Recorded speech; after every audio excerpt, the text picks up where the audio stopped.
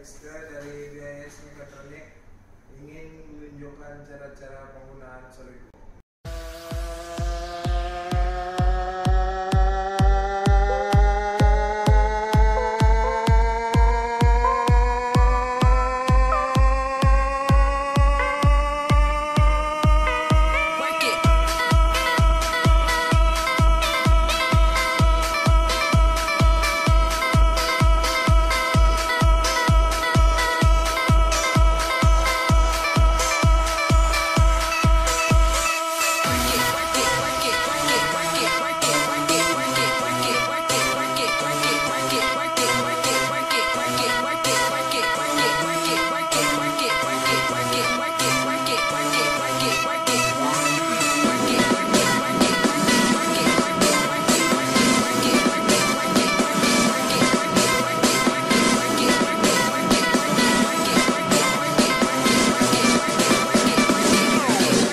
like it.